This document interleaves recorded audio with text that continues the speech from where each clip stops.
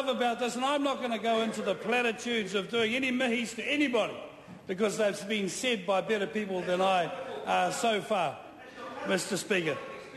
And Mr Jones should be quiet. You know, do himself a favour and be quiet. In fact, do the nation a favour and be quiet. Mr Speaker, on a day where New Zealand signed up to the UN Declaration on Indigenous People, we also sign up, we, hear, we are here, sir, at the second reading of something that is great, something that should unify this nation, something that's never been tried before, as Rodney Hide uh, so put it, that has never been put uh, to the nation before, co-governance. And why not, sir? And I could pick holes through everything that Rodney Hide said this Parliament at two o'clock every afternoon comes into this house and does its prayer. And we don't call it hocus pocus. We don't call it hocus pocus.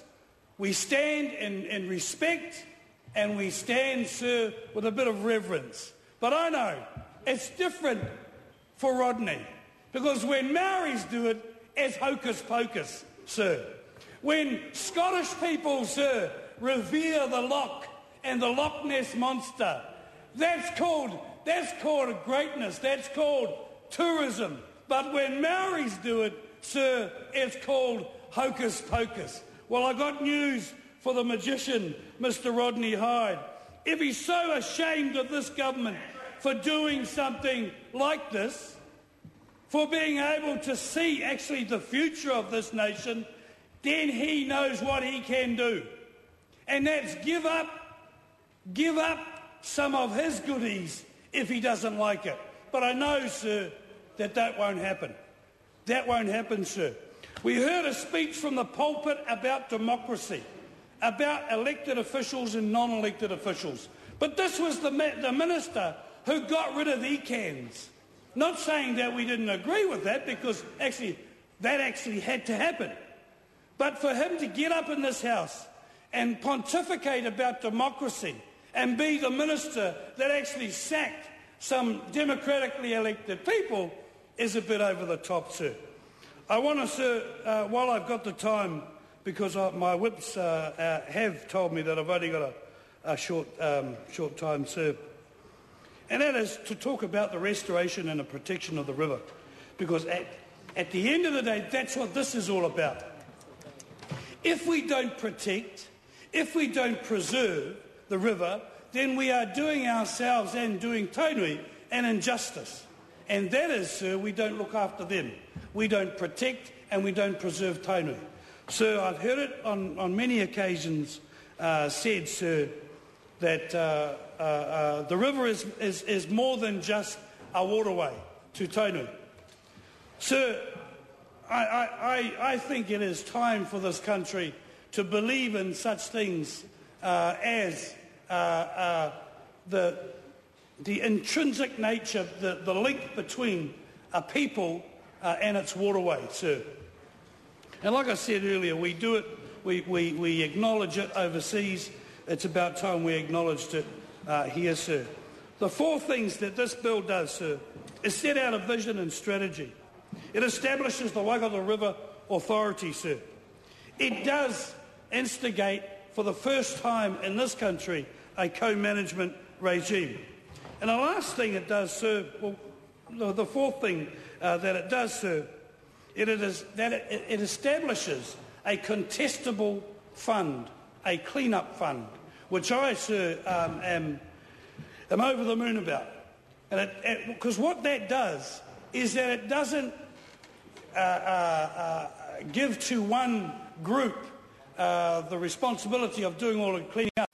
If people out there in our community want to, to put an application in or put a, a, a, a project up, sir, they can, and there is a contestable fund uh, to help them do that. So, lastly, I, I, um, I would be remiss to say to um, Rodney Hide that I stand and support this bill not because of my relationship with my brother-in-law. Um, I, I stand here because it's actually a good thing to do.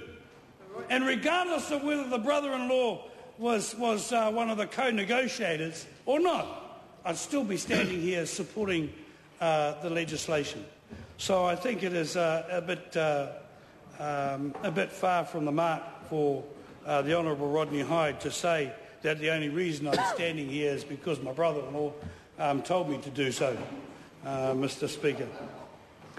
sir, I think what we do is, is today is, is a watershed moment in New Zealand's history, just as I think that uh, it was when the House passed uh, Te Aho Matua, um, 19, I think 98, 99.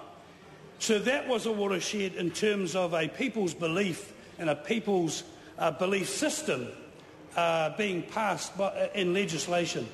And I, and I consider this to be on the same, same par. I don't see this as being a a treaty settlement per se. I, I see this as a, a far-reaching uh, look into what this country could mean if we only it. There are, you know, there are opponents to this bill, and they are entitled to be opposed uh, to it for whatever reasons they have. But my, uh, my, my message to everybody, sir, is this that if we really truly want to be a united and unified nation, then it's time we started taking bits and pieces of each other rather than uh, doing what Mr Hide uh, would want us to do, sir. I, I uh, look forward to the debates uh, in, the, uh, in the committee stages and certainly look forward uh, to the brothers and sisters, aunties and uncles arriving here on the third reading because I think it is. And, and without wanting to uh, disrespect other treaty settlements, including the, the initial uh, uh, treaty settlement in, in Tony, I think this is watershed than most people think. Uh, Honourable Marianne Street. Thank you, Mr Speaker. Kia koe, Lady Raiha. Kia pai tu hai